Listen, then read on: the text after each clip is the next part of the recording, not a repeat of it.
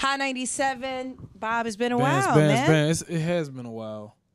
we have a lot I've- to talk about. I know. It's like last time I saw you, your hair was a different color. I think you went through a couple different colors. Possibly blue, who knows? You know, I thought about dyeing my hair. I can't. I'm nah. It's, you know, Not it's really too for much. me. I want to talk about the tour. I don't think it's any more cities left the tour. like we, don't, it's crazy. But we come around the home stretch now. We are almost done. Almost done being on the road, and we're good. Okay, so this is good. So why name the tour this? because people like me often too many times get told to shut the fuck up and i felt like i'm gonna take this acronym and just make it my own Yeah. hence the name save the fucking underdogs Yeah. so doing it for the underdogs for the people who get overlooked the people Yeah. who get told to shut the fuck up the people who get told that they're different Oh, yes. that's why we're doing this tour I was seeing all the stuff that you tweet and talk about. I think this is it, it feels right. You know, you talk about chemtrails and you know, it's funny cuz I, I hate the word conspiracy because it makes it seem like it's not real. These are things Yeah. that are happening and you actually are vocal about it. I've come to find out that in today's society, there's like a, uh, you know, the little Venn diagram you draw, and it's like you know the things that are these are socially acceptable to talk about and to discuss and to question, and me and the circle of people that I'm around and the people that I hang out with all the time, we, you know, it's normal to talk about stuff that people would deem conspiracy that would not fall inside of that common knowledge or common, you know, uh, dialogue that people have. And so I definitely hate that word, but I mean, you know, it is what it is. People call it whatever, but at the end of the day, the point is to provoke thought. Right. You know what I mean? I don't want people to just believe everything I say or just hang on to everything I say. I want you to go research it and find out for yourself. People like, so Bob, tell me, what do you think's going on? What do you Yeah. think? Like, no, you find out. You hear what I'm talking about. You see me, I've been talking the same shit Yeah. for a while now. And so, you know, I'm just kind of, it's, it's like my life. It's like regular. Do you get trolled more because you're just more vocal about everything or has the trolling been the same since the beginning? Um, the trolling has evolved. The trolling has changed. Oh. The trolls are different now. what kind of the- trolls are these? Lots you of know- eggs. it's different because at first, you know, uh, trolls used to troll me for Yeah. being for having pop music. Now the trolls are just for everything. It don't. I I I don't. Even, I can't even keep up with it. I don't know what people mad at me about this day. Yeah. So I just you know, but you know, it, after a while, you know, it's, you just get numb to it. yeah. It don't really tomato tomato. I think it's interesting that the mixtapes that you've put out, you talk about all these things. Has anyone tried to censor the music you've done? it's impossible to censor the music that I've done. I think now it's just way harder hmm. to reach the people that I used to be able to reach. And Wait, why? because social media has become so monetized now Right. that the algorithms have been mm. algorithmed Yeah. to, it- yep. to where you can't reach all the same people and you know and, and then also you know with everything all the all the major social media platforms are following the new the new uh format where like they kind of s- are selective on what people see from your account or what you post Yeah. on, on all of them so it's like me and you talk about conspiracy shit all the time they're gonna be like all right well just let them see the conspiracy shit Yeah. but you may not see oh bob's performing over here in cleveland da, da, And it's da. sold out yeah you know what these i'm saying but at the end of the day you know i think the spread and word the word of mouth is always gonna supersede Yep. anything if that's the right word Yep. Yeah, absolutely. Yeah. And you know what? I, the reason I was asking because actually YG was here yesterday, and you know he has a song called "Fuck Donald Trump." Yeah. And actually, the Secret Service um, went after him and basically told him he wasn't going to put this record out or whatever without it being censored. So that's why I was wondering if that has happened to you because this is really actually happening Yes. right now. and it kind of makes me and that's why i feel like you know I feel like somebody gotta say something. You know what I mean? It's like what's gonna happen in ten years from now? People gonna wanna, you know, it's kinda like back when NWO had had the song Fuck the Police and it was like they couldn't perform it. Crazy. It's like, you know what I'm saying? It's like that all over again. It's like now people are I feel like we should always be able to have free speech. Because if you don't have free speech and you're not able to just say what you want to say, it's like a dictatorship. That's like a tyranny. And it's almost like so there could be free speech for hate groups, but you're gonna Yeah. control free speech when it comes to artists and Yeah. musicians with you know saying things that are obviously affecting all of us right Yeah. now.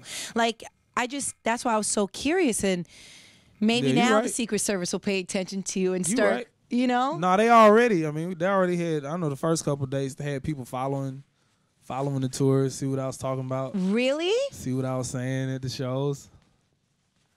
Yeah. how did you know because the people around me are very, uh, intelligent very perceptive.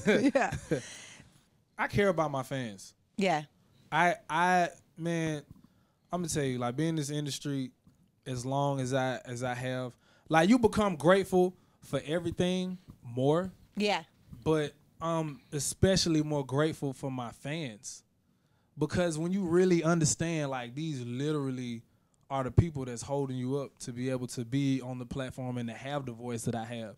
Like if like I need my fans more than they need me. Yeah. You know like I don't have a voice. If ain't nobody sharing my songs or sharing my posts or telling people about me who are you? You know what I'm saying? Mm. like you know so the, the appreciation is just so real right now especially Has- on tour. has the industry been you know the same towards you or different especially with the stuff that you talk about Oh yeah, definitely. really I mean, I'm again. I'm going against the grain.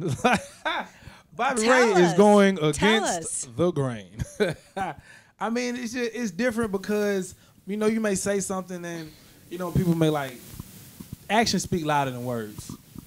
It's really just you know people may act differently towards you. You know, people may not pick the phone the phone up as much as they used to.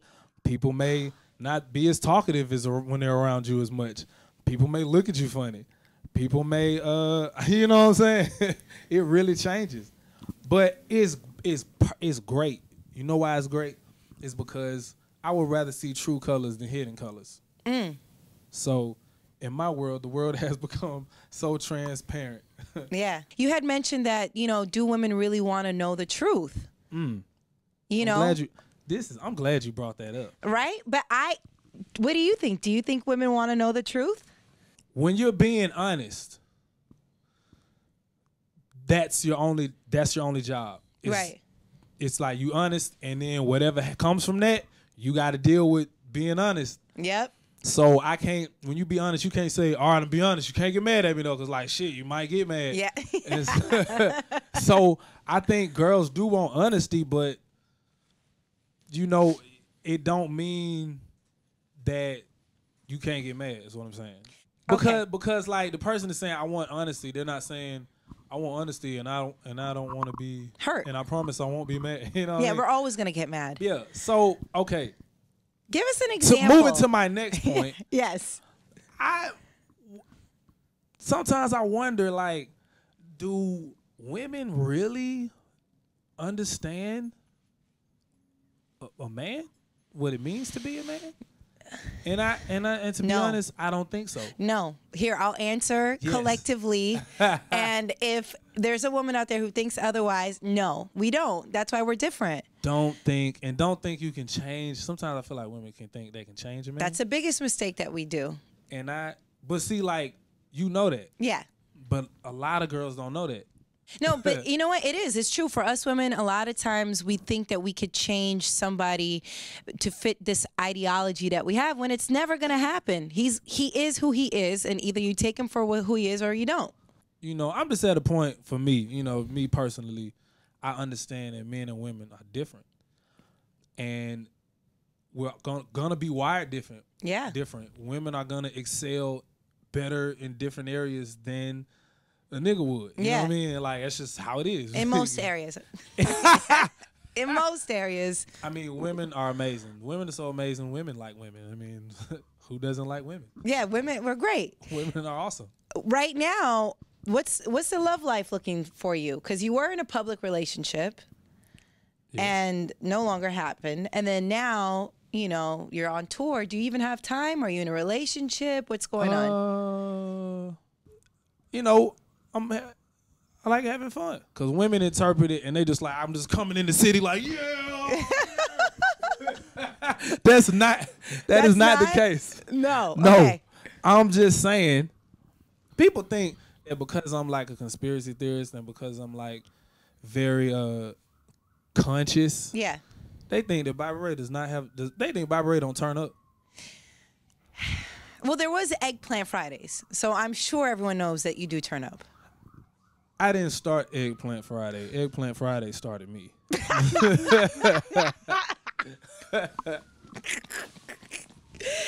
Oh gosh, Bobby I was just trying to promote a healthy diet yeah, and a vegetarian course. lifestyle. That's Yeah.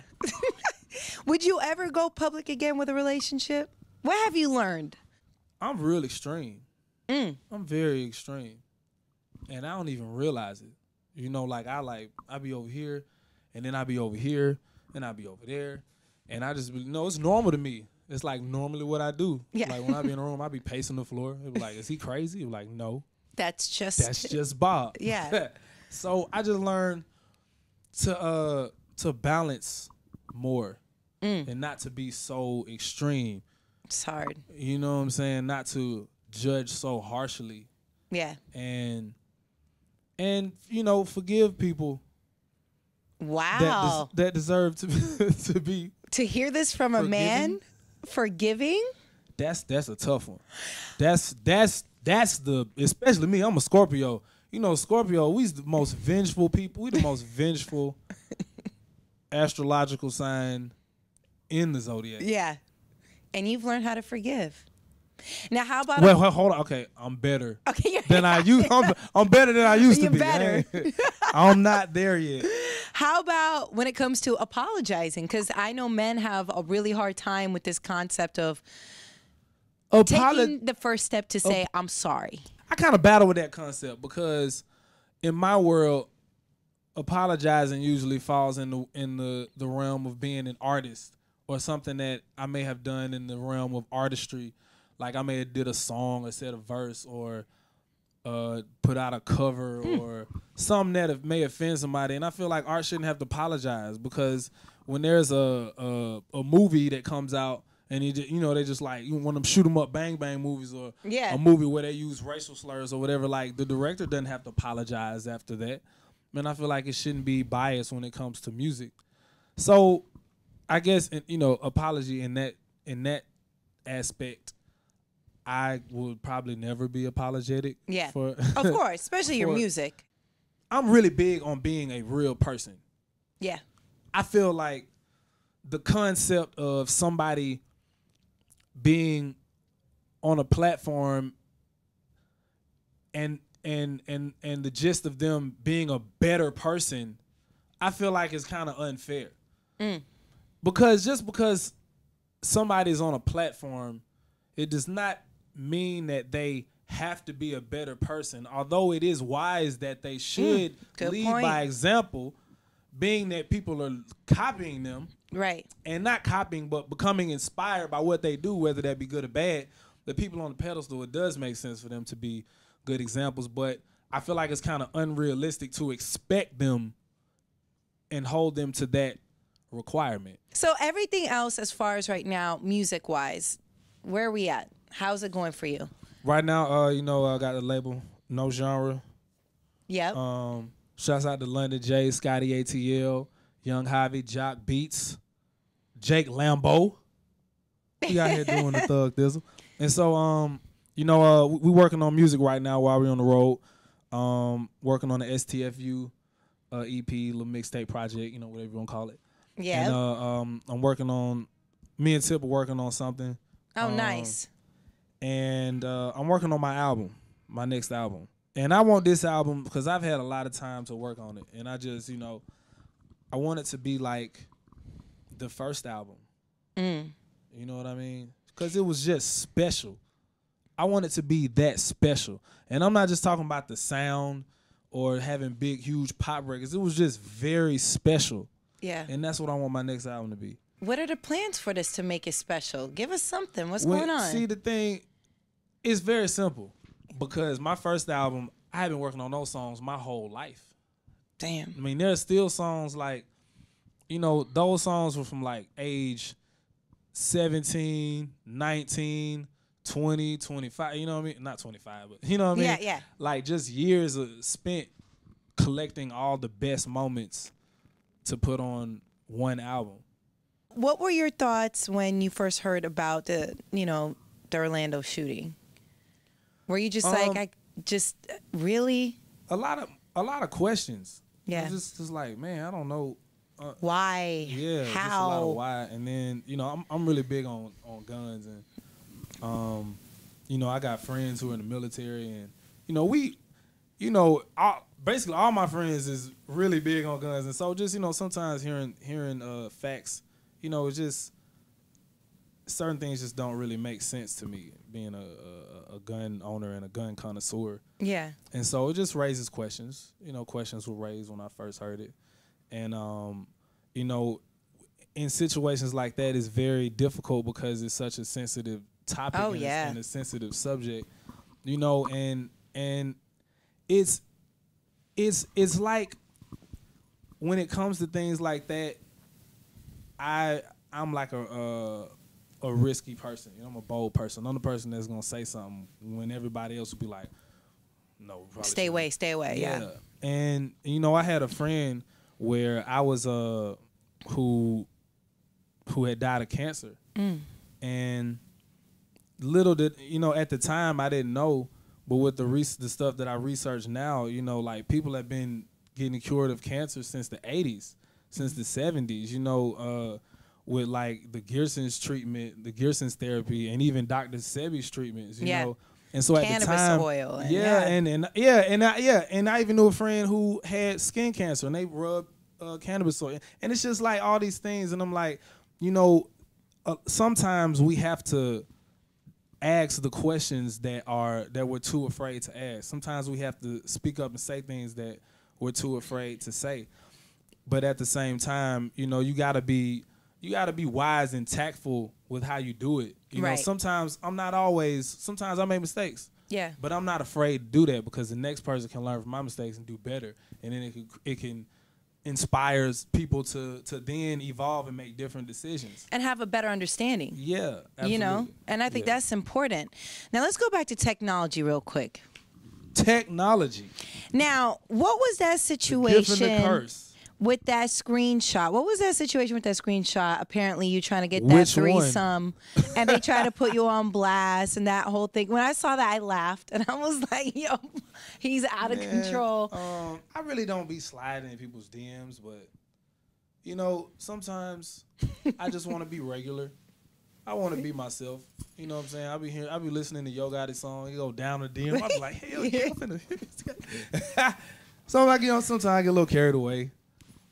But um, you know, it's neither here nor there. Yeah, You know. but I think that's so. You know, so uh, you know, girls are So always like, it's- "Is he? How do you meet like Bob?" And it's like, I mean, I guess you. We could. was just talking about this today. Re- really? Because you know we're in New York. Yeah. And we from the South. so we used to like going to the mall, hollering at girls, talking to girls. You know, here when you're on the street, girls don't talk to you. You know, you'd be like, "Hey, what's up?" You be like, "No." Y'all do not talk to nobody.